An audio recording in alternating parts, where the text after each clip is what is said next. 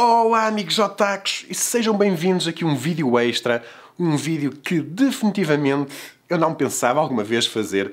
Uh, definitivamente nunca imaginaria que iria estar a fazer um vídeo sobre uma tragédia que aconteceu sobre um estúdio de animação, que, com a morte de funcionários de um estúdio de animação. Foi aqui uma semana bem, bem negra. Se vocês acompanham o Otaku PT, já estarão mais ou menos dentro do que é que está uh, a acontecer. O estúdio de animação Kyoto Animation acabou por ser atacado. 33 dos seus funcionários acabaram por, um, por, por falecer. A Kyoto Animation, que recentemente fez animes como Violet Evergarden, uh, temos também Free, por exemplo, Miss Kobayashi's, Dragon Maid, uh, Eubicophonium, o estúdio Kyoto Animation, que é sempre aquele símbolo, sempre que alguém pergunta um fã de anime, um estúdio de animação bom, que tenha uma boa qualidade uh, de animação, uma das primeiras respostas é sempre a Kyoto Animation. Infelizmente, esta semana fomos aqui abalados por esta tragédia. Uh, passou pouco mais de 24 horas, já estamos a conhecer mais pormenores à volta deste ataque que aconteceu ontem às 10h30 da manhã no Japão, aqui em Portugal, 2h30 da manhã, eh, no Brasil era o dia anterior, às 10h30 eh, da noite. Aos poucos, vamos conhecendo um pouco mais sobre esta tragédia enorme. Eh, envolveu 70 pessoas que estavam na altura, 73 pessoas que estavam na altura, num, num estúdio número 1 da Kyoto Animation.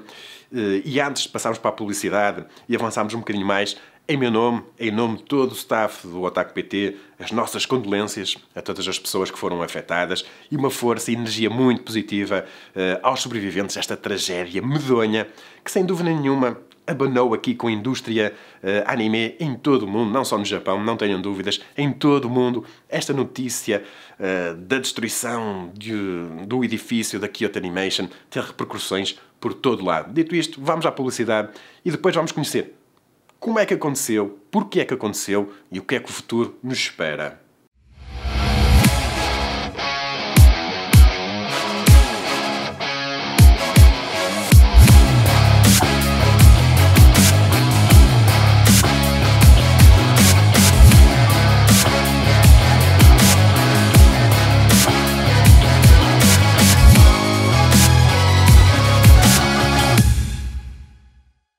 Ok, então o que é que aconteceu?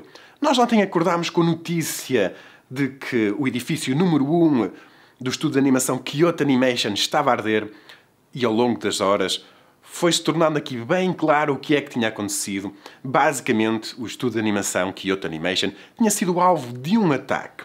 Alguém tinha incendiado aquele estúdio de animação. Mais tarde veio-se a descobrir que tinha sido um homem de 41 anos. Uh, ele já foi identificado se vocês acompanham o Ataque PT, já sabem mais ou menos a história, mas nós optámos por não revelar o nome. Uh, acho que fazer publicidade é o que este, este tipo de pessoas querem. Querem sentir-se grandes, querem sentir-se o centro das notícias. E aqui no Ataque PT, opa, optámos por não. Uh, tudo bem, um senhor 41 eh, anos, mas não o identificamos, não queremos enaltecer este ato terrível, horrível desta pessoa. Então, o que é que aconteceu?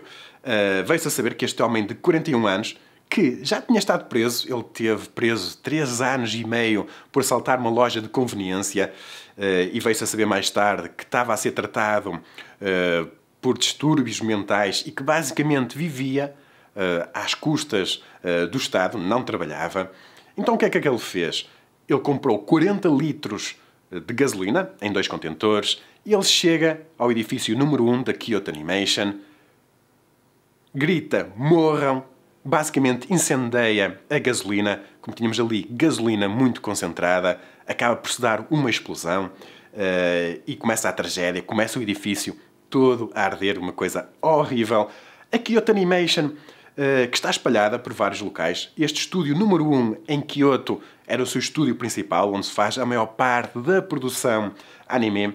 Este tem depois um estúdio, um edifício número 2, tem escritórios em Kyoto e, é, e em Tóquio, e tem também o edifício do Anime Do, mas este edifício que foi eh, basicamente atacado era o principal edifício uh, onde era feita a animação da Kyoto Animation, para vocês terem aqui um bocadinho a percepção uh, da gravidade e os estragos que foram feitos. O edifício acabou por arder completamente. Mais tarde, como é que este. E antes de passarmos uh, para os danos, mais tarde, o que é que aconteceu? Este sujeito, que acabou por pegar, fazer aquele ataque terrorista, se é que. Eu acho que se pode dizer que foi um ataque terrorista. Basicamente, este indivíduo foi apanhado cá fora. Uh, inicialmente socorrido pelas pessoas, elas nem se tinham apercebido que quem estavam a ajudar era na realidade a pessoa que tinha causado uh, aquela tragédia enorme. Uh, e basicamente o que ele dizia era qualquer coisa que tinha atacado a Kyoto Animation por causa de Pakurio. Pakurio, que é uma palavra japonesa com sentido um tanto ou quanto ambíguo, que significa alguém copiar o trabalho de alguém ou alguém basear o seu trabalho no trabalho de outra pessoa. Uh, mais tarde, uh, veio-se a saber que ele estava a dizer que a Kyoto Animation lhe tinha roubado a sua novel. Uh, por isso, vemos aqui alguém que definitivamente tem aqui está revoltado com o estudo da Kyoto Animation, se é verdade ou não, mas este, este conjunto de atos não justifica o, o que ele fez. Uh, não sabemos ainda muito bem a história à volta desta acusação uh, de roubo da novel. Uh, este, este senhor tem problemas mentais, por isso hum, tem aqui algumas dúvidas. Será ou não verdade a Kyoto Animation ter pegado e roubado a novel de, dele? surgiram algumas imagens dele deitado, ele ficou ferido, provavelmente na, na, na explosão com principalmente as pernas queimadas e um pouco do, uh, dos braços, e as pessoas, à medida que o estavam a ajudar cá fora, perceberam-se que ele uh, basicamente era o culpado uh, de ter feito aquele, aquele ataque. E passa agora ao mais importante, a tragédia humana que aconteceu, algo sem qualquer tipo de desculpa, uma barbárie completa. Nas fotos, o edifício número 1 um da Kyoto Animation parece ser pequenito, três andares, mas na realidade trabalhavam lá mais de 70 pessoas. O edifício 1 da, Kyoto Animation também serve de centro de treino para outros animadores, para eles receberem informação. E tivemos um número de mortes estupidamente alto. Uh, no momento deste vídeo, uh, ah, 18 pessoas já tiveram alta, uh, ah, 17 pessoas ainda estão internadas a receber tratamento, inclusive o criminoso também está internado. Mas o pior disto tudo é que 33 pessoas acabaram por falecer. Faleceram 12 homens, 20 mulheres e temos ainda um corpo que, se calhar, provavelmente por causa das queimaduras, ainda não conseguiram descobrir qual era o sexo dessa pessoa. Uma coisa brutalíssima. E mais brutal foi que os socorristas basicamente encontraram 19 pessoas mortas uh, num corredor, no, nas escadas que davam ao telhado do edifício. O que é que aconteceu? A porta que conduzia ao telhado estava fechada, só abria de fora para dentro. Eles não conseguiam não conseguiram abrir e as pessoas acabaram por falecer ali nas escadas. Muita gente, eh, os relatos vindos do Japão são horríveis, que encontraram as pessoas umas em cima das outras a tentar escapar ao fogo. Uh, provavelmente, quase certeza que estas pessoas não terão morrido uh, devido ao fogo, mas muito por causa do fumo. Uma intoxicação por monóxido de carbono. Uh, basicamente, as pessoas não conseguem sair do edifício, começa-se a acumular uh, fumo, começa ali as trocas gasosas no nosso sangue começa a não acontecer da maneira ideal, começamos a entrar em hipóxia. Hipóxia é basicamente, em termos muito simples, a quantidade de oxigênio no nosso sangue é inferior ao ideal, o nosso cérebro começa a desligar as funções vitais e isso acaba por uh, conduzir, em última instância, a uma paragem respiratória e, e cardíaca e as pessoas acabam por falecer. Primeiro, acabam por perder os sentidos, acabam por desmaiar e depois acabam por falecer. E foi esse cenário dantesco que os socorristas encontraram. E vocês perguntam, então, porque é que elas não saíram pela porta da frente? Lá está, o ataque foi feito no primeiro andar, no hall de entrada do edifício, por aquele homem que incendiou aquilo tudo. 40 litros de gasolina é muito combustível uh, a arder e a única hipótese das pessoas fugirem era para cima, a porta estava fechada e aconteceu o pior. E agora vocês perguntam, mas que condições de segurança é que a Kyoto Animation, aquele edifício, tinha? E na realidade, o presidente da Kyoto Animation veio revelar que eles há muito tempo que andam a receber de várias pessoas ameaças de morte, que eles comunicam sempre às autoridades uh, esse tipo de ameaças uh, mas aconteceu algo terrível neste dia.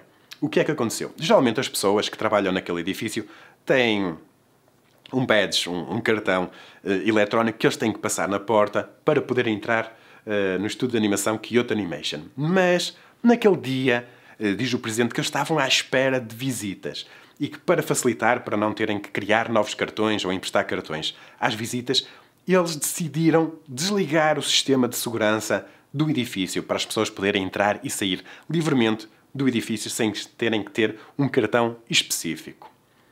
E agora surge aqui esta dúvida, e algo que a polícia vai determinar, se isto foi um, um lance de sorte, uh, de sorte para o atacante, se ele sabia que as defesas, a segurança da Kyoto Animation iria estar desligada naquele dia, porque iam ter visitas, ou se foi um lance de sorte que ele por simplesmente chegou lá, abriu a porta, a porta abriu e, e ele entrou e fez o ataque.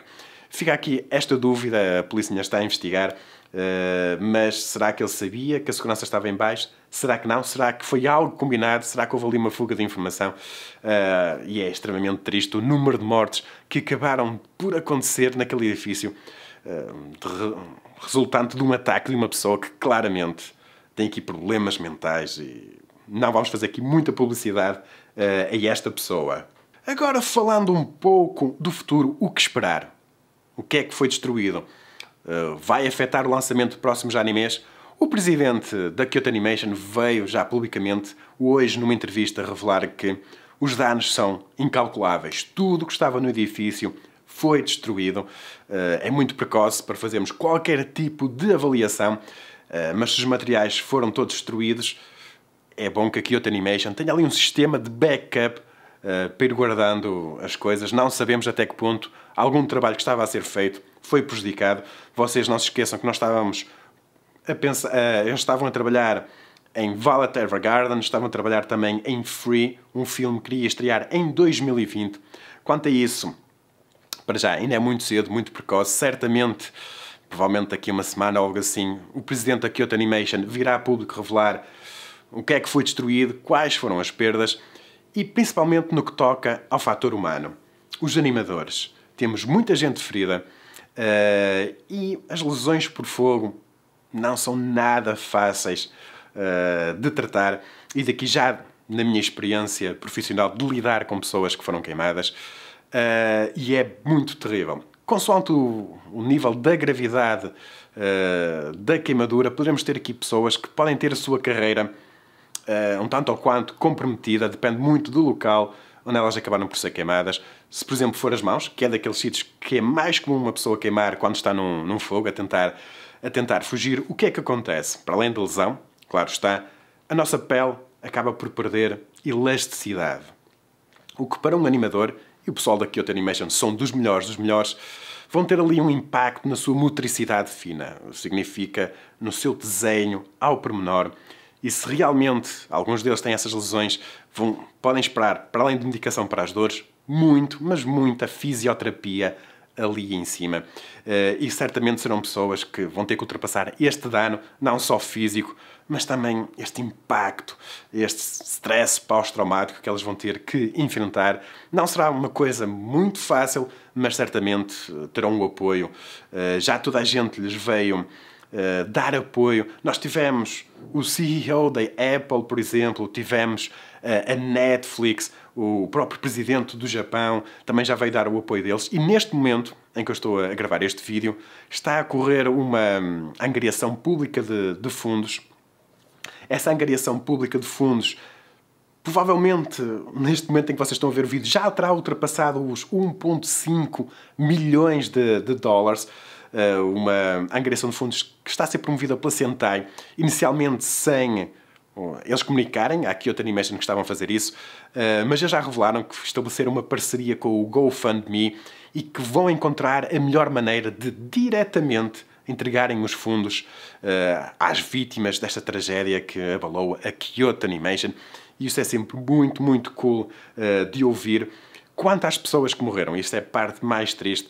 Não vamos entrar aqui em rumores, acho que não vale a pena. Se vocês seguem o Ataque PT, o nosso Twitter, nós já confirmamos que alguns um, diretores uh, forem, estão vivos, estão, estão bem, estão a salvo. Outros estão tanto ou quanto desaparecidos. Uh, geralmente o pessoal japonês é mais não é tão expressivo. Muitas das pessoas uh, não estão sempre nas redes sociais, por isso fica sempre aquela dúvida e não vamos entrar aí por essa especulação. E a confirmação provavelmente só vai surgir daqui a muito tempo. Se vocês seguem o Otaku PT, sabem que muitas vezes um autor mangá, uh, um diretor, acaba por falecer e só passado um mês, um mês e tal, é que a empresa comunica que aquela pessoa morreu. Porquê? Porque no Japão eles privilegiam muito a privacidade das pessoas. Provavelmente o que vai acontecer é que estas pessoas que acabaram por falecer, 33 pessoas, uh, vamos ter os serviços fúnebres deles, as famílias vão acabar por, um, por prestar os seus serviços fúnebres, uh, e só passado muito tempo é que nós vamos saber quem é que acabou por falecer e podemos ter aqui um choque ou outro, uh, e é sempre perdas terríveis. O presidente da Kyoto Animation, muito, muito emocionado, a dizer que nunca na vida dele imaginou que iria ter que lidar com este tipo de, de situação, e é uma situação bem, bem dramática. Quanto ao criminoso, só de lembrar que nos países democráticos existem três países que ainda aplicam a pena de morte, que é a América, a Coreia do Sul e o Japão. E já anteriormente foi condenado uma pessoa à pena de morte por um crime idêntico, uh, e provavelmente palpita-me que será o que vai acontecer a este amigo. O Japão, que pratica a pena de morte, nos Estados Unidos é eletrocução ou injeção letal, no Japão eles vão mais pelo, pelo enforcamento. Por isso, este amigo, e acho que definitivamente merece, uh, uh, vamos ver o que é que lhe vai acontecer. Claro está que ele pode jogar aquela carta que estava a ser tratado para um problema mental, e todos nós sabemos que muitas das vezes este tipo de pessoas consegue contornar aqui a lei. Espero bem que não seja isso que lhe vai acontecer este amigo, amigo que de amigo não tem nada, uma autêntica besta, um, cometeu um crime hediondo e definitivamente deve, uh, na minha opinião, pagar e pagar bem duro pelo que fez, 33 vidas que se perderam, afetou a vida de mais outras, uh, outras pessoas, mais de 20, 30 pessoas que foram afetadas uh, por este seu ato de bárbaro uh, e nada justifica o que ele fez. Aqui no Ataque PT, tal como vos disse no início, não vamos identificá-lo. Uh, o nosso apoio, as nossas condolências às famílias das pessoas que acabaram por falecer, muita energia positiva aos sobreviventes, para eles conseguirem ultrapassar esta situação difícil e peço-vos para vocês deixarem nos comentários alguma coisa ao pessoal que foi afetado, estas vítimas, achar, dizerem também o que é que acharam uh, desta tragédia que acabou por acontecer à Kyoto Animation. Uh, e como sempre, deem o like se gostaram deste vídeo e também subscrevam este nosso canal YouTube. Forte abraço, até à próxima.